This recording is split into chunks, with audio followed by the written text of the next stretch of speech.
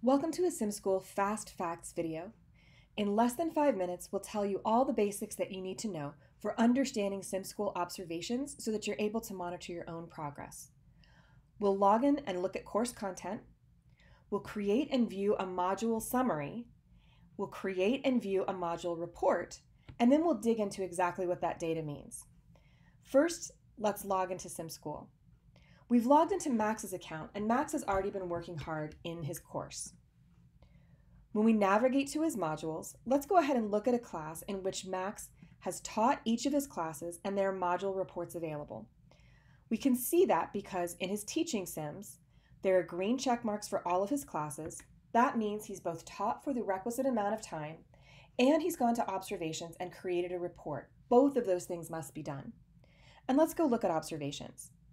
The first piece of information that we get on how we did in actually teaching this simulation and how Max's performance changed over time is high level information that averages every time we taught a particular class.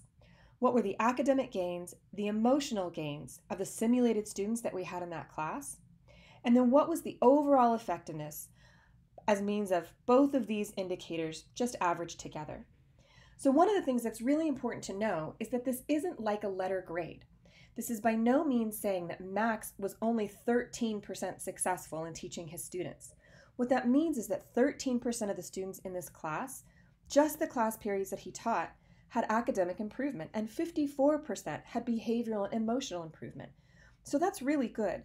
What we suggest is that by the last time that you teach a class, which should be the best example of how you're able to work with the students you were given, the lesson plan that you inherited, any resources, and the seating arrangement that you had. The last class that you teach should be the best representation of how you were able to do. And that's the data that most often instructors will really dig into.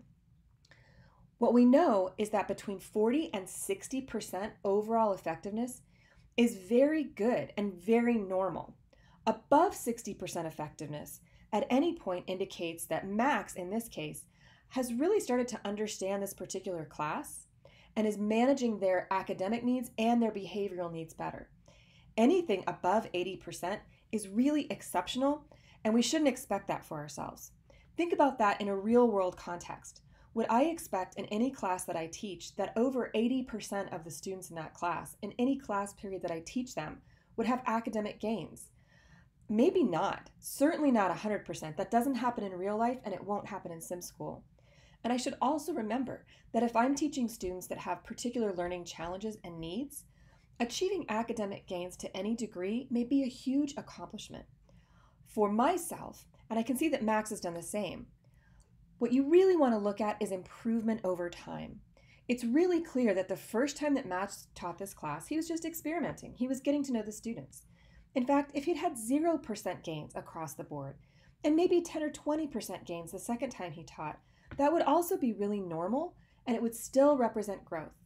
But what we can see is Max clearly figured out the right way and the most successful way to work with this class. And over time was very consistent in academic gains, emotional gains, and in overall effectiveness. So that's one set of information that we get, but it's not all, and it's not the most important. We really want to make sure that we look at each class, that we very consciously look at a report because here is also valuable information for us. Regardless of the kinds of students that we have in a class, we know that we really need to be looking at utilizing best practices in teaching. And it doesn't matter what the academic performance of those students is. If I have a class in which all of the students have IEPs, it may be really exceptional teaching if I'm able to achieve any academic gains at all. But it doesn't mean I shouldn't use best practices. I still should. And so it's clear in this one particular class that Max taught, and it's the first time that he taught. Remember that we saw lower effectiveness in that first class. What we can see is that there were a lot of different practices here in which Max really should go back and he should try to do those things more often. It doesn't mean that he didn't do them, and it doesn't mean that he did a bad job. But what Sim School is letting him know is these are good practices regardless of the age level or the kind of student that you're working with.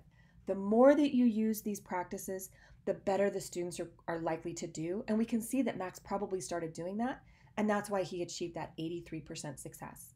Know that your instructors are going to be looking at all of this information for the last class that you teach so it's really important that you look at it as well. Good luck and have fun teaching in Sim School.